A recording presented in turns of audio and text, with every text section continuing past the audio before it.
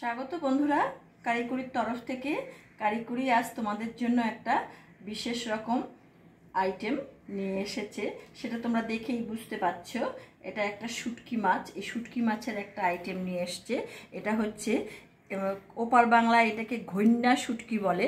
দেখো, গোটা একটা মাছ নিয়েছি। এই শুটকিটা এইরকম থাকে এইরকমভাবে থাকে। তো যাই হোক, আমি পুরো শুটকিটা করব না। এখান থেকে হাফ আমি করব। তো এতে দেখো, এর জন্য আমি কি কি নিয়েছি?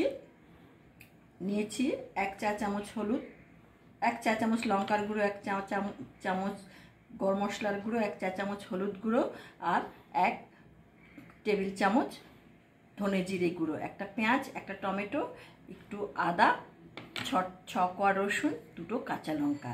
তো এটা দিয়ে আমি আজকে এর একটা রেসিপি তৈরি করব।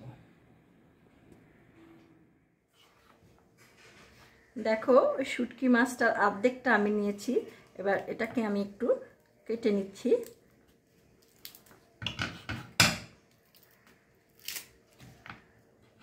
এইরকম করে পিস পিস করে নিচ্ছি। দেখো, হাফ মাছকে আমি টুকরো টুকরো করে নিয়েছি, এটা এরকম হয়েছে। এবার এটাকে আমি একটু অল্প জল দিয়ে কুকারে হালকা একটা সিটি মেরে নেব। এখন আমি এই মিক্সির জারে এইগুলোকে একটু দিয়ে দিচ্ছি। মিক্সিতে আমি এগুলোকে একটু পেস্ট করে নেব। অর্ধেকটা পেস্ট করব, অর্ধেকটা আমি ভেজে দেব। রসুনটাকে, পুরোটা রসুন ছকোয়া দিয়ে দিচ্ছি, টমেটোটা দিয়ে দিচ্ছি। দেখো বন্ধুরা মাছটা আমি কুকারে সিটি মেরে নিয়েছি, আর এর মধ্যে আঁশ রয়েছে। এই আঁশটা ছাড়ানো, দেখবে কুকারে সিটি মেরে নিলে খুব সহজেই আমরা আঁশটা ছাড়িয়ে নিতে পারি। দেখো, এইভাবে এটাকে আমি ছাড়িয়ে নিচ্ছি। এইভাবে আমি পুরো মাছটাকে ছাড়িয়ে নেব। তোমরা এইভাবে করবে, তাহলে দেখবে ব্যাপারটা অনেকটা ইজি হয়ে যাবে। এটা আমার বাছা হয়ে গেছে। এবার এটাকে আমি হালকা করে একটু শিলে বেটে নেব। ইচ্ছে করলে তোমরা নাও বেটে নিতে পারো, হাতেও এরকম করে ছাড়িয়ে নিতে পারো, কিন্তু আমি একটু শিলে বেটে নেব। বন্ধুরা, আমি গ্যাসটাকে ধরিয়ে দিলাম, দিয়ে একটা প্যান এখানে বসিয়ে দিলাম।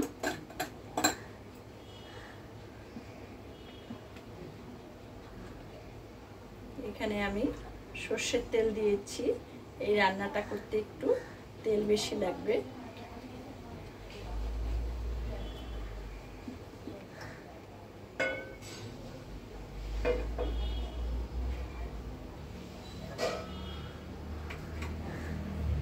এখন আমি এখানে দুটো শুকনো লঙ্কা, ছোট ছোট দুটো শুকনো লঙ্কা, একটা তেজপাতাকে এরকম করে চার টুকরো করে দিয়ে দিলাম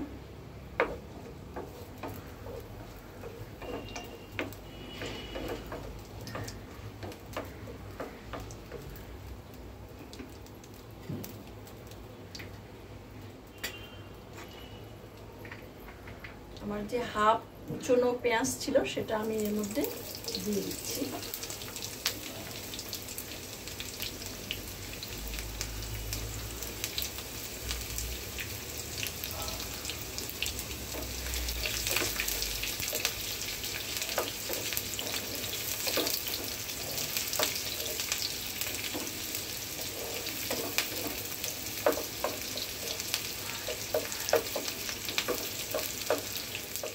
এখন আমি অল্প একটু জিরে এর মধ্যে গোটা জিরে দিয়ে দিলাম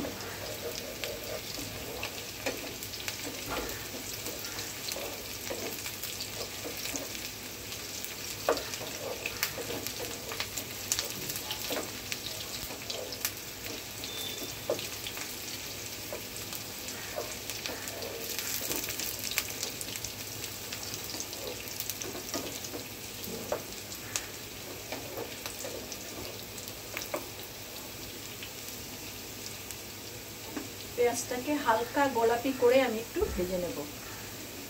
পেঁয়াজটা আমার হালকা লাল করে ভাজা হয়ে গেছে। এই পর্যায়ে আমি এই বাটা শুটকি মাছগুলো এর মধ্যে দিয়ে দিচ্ছি। দেখো শুটকি মাছগুলো আমি হালকা করে ভেটেছি বেটেছি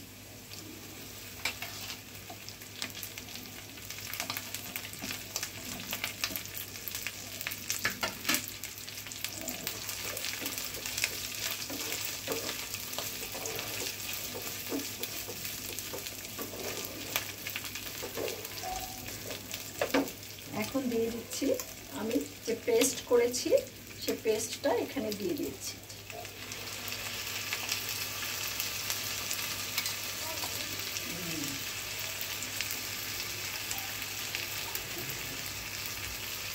মিক্সির জারটাকে একটু ধুয়ে জল দিয়ে দিলাম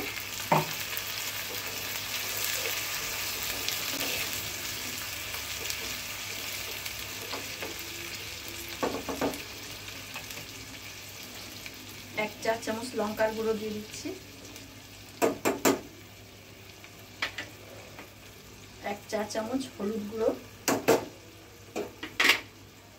এক টেবিল চামচ ধনে জিরে গুঁড়ো।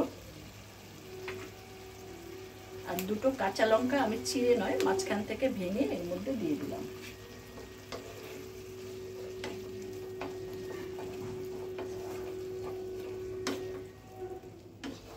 এই রান্নাটা একটু ঝাল ঝাল হলে খেতে বেশ ভালো হয়।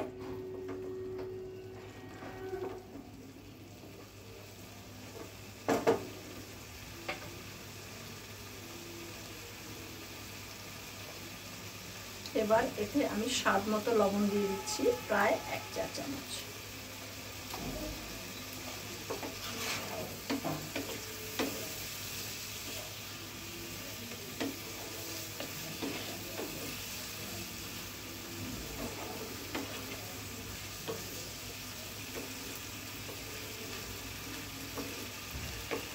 এখন এটা এভাবে মিনিট খানেক থাকবে।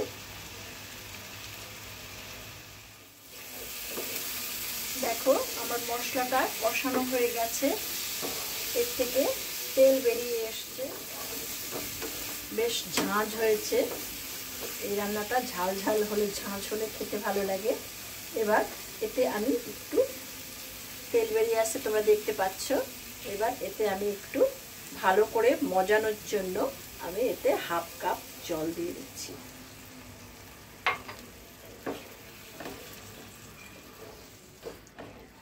আমি এতে একটু মিষ্টি দিয়ে দিচ্ছি, চিনি। চিনিটা তোমরা তোমাদের স্বাদ মতো দেবে। দিয়ে যেরকম খাও।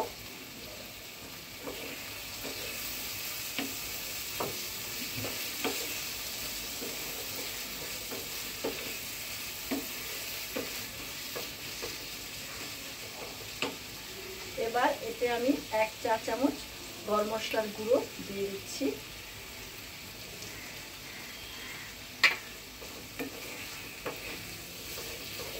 তোমরা যদি এটাকে এইভাবে রান্না করে খাও, তাহলে শুটকি মাছের যে গন্ধ, সেই বাজে গন্ধটা একদমই থাকবে না। তোমার মনেই হবে না যে এটা শুটকি মাছ খাচ্ছ এবং ভীষণ ভীষণ ভালো লাগে। তোমরা এইভাবে করে খাবে, ভীষণ টেস্টি হয়। একবার খেলে বারবার খেতে ইচ্ছে করে। তো হয়ে গেল আমার শুটকি মাছের ঘনে শুটকির তেল, ঝাল। এবার আমি এটাকে সার্ভিং বলে নামিয়ে ফেলব। হয়ে গেল আমার ঘনে শুটকি রান্না করা। তো তোমরা দেখলে আমি এটাকে কীভাবে করলাম, তোমরা এইভাবে করে খাবে। তো আজকে এই ভিডিওটা যদি তোমাদের ভালো লেগে থাকে, তাহলে তোমরা আমার এই ভিডিওটাকে একটা লাইক করবে। কমেন্টস লিখবে আর বন্ধু বান্ধবদের সঙ্গে অবশ্যই শেয়ার করবে। আর যারা এখনও পর্যন্ত আমার এই চ্যানেলটিতে নতুন, আমার চ্যানেলটিকে সাবস্ক্রাইব করনি, তারা অবশ্যই সাবস্ক্রাইব করে বেল আইকনের অল বাটনটি ক্লিক করবে, তাহলে আমার পরবর্তী সমস্ত নোটিফিকেশন তোমাদের কাছে সবার আগে চলে যাবে। দেখতে থাকো দিন তোমাদের জন্য কিনে আসে। ভালো থেকো, সুস্থ থেকো, ধন্যবাদ।